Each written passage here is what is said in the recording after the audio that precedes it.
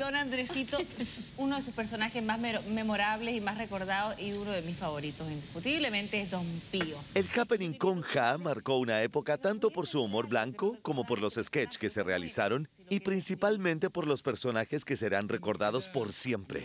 Tal es el caso de Andrés Rillón, quien interpretó magistralmente a Don Pío, el disperso jefe de Don Sañartu. Lo que a lo mejor usted no sabía era que Don Pío estaba profundamente enamorado de Gertrudis, la tímida e inocente secretaria de la oficina. Y me trajeron lápices. Ah, le trajeron. Entonces yo firmaba los documentos.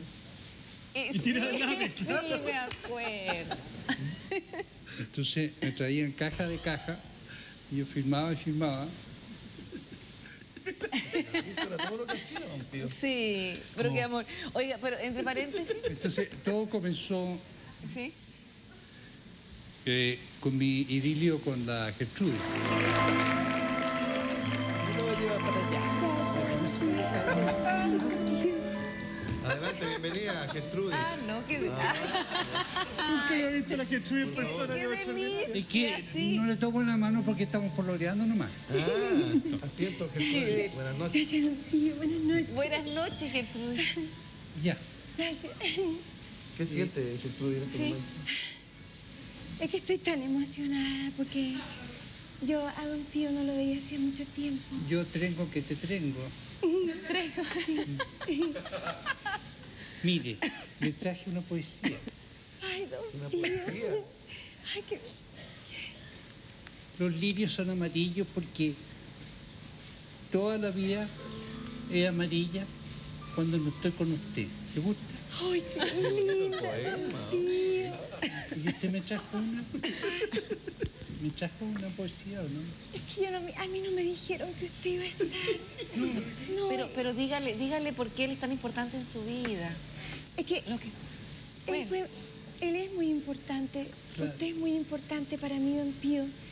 Porque a pesar de que yo no lo he visto, yo encontré una canción moderna que dice lo que usted ha significado para mí.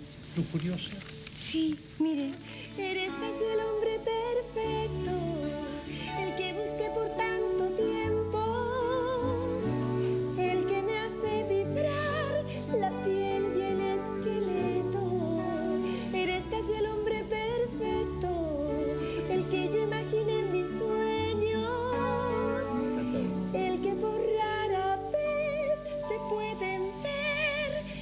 Debiste nacer en año bisiesto.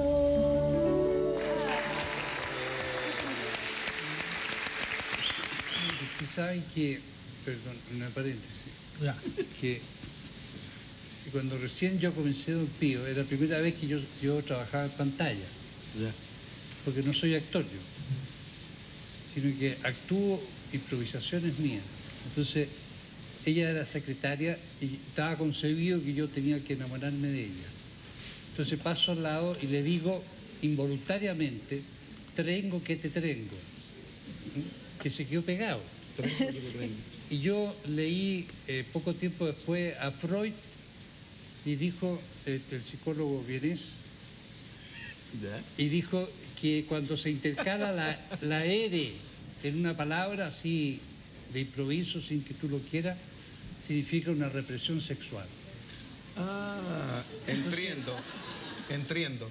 Entonces por eso, por eso todas las, las siguientes palabras eran brenga, broy.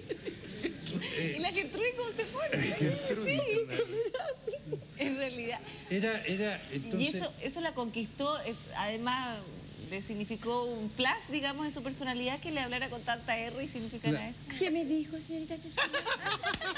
¿Qué me significó qué? El placer. No, esto de que le hablara raro, la ponía más nerviosa, le gustaba más. Ahora tres tristes tigres. Claro, eso ¿Qué ya soy. efecto Ahí no hay causaba en ya está usted bien. esto de que la- le hablara de esta forma? no, ya eso era una bacanal.